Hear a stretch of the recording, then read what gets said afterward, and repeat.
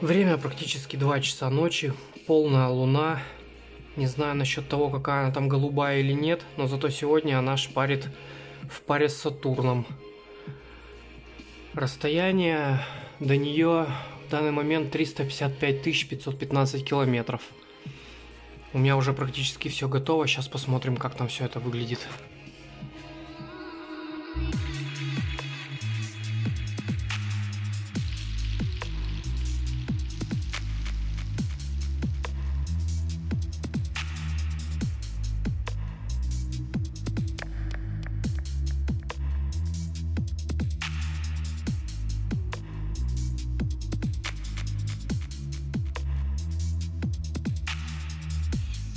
Очень хорошо видно моря. Кратеры практически никакие не видно, они как светлые точки, а вот моря классно видно.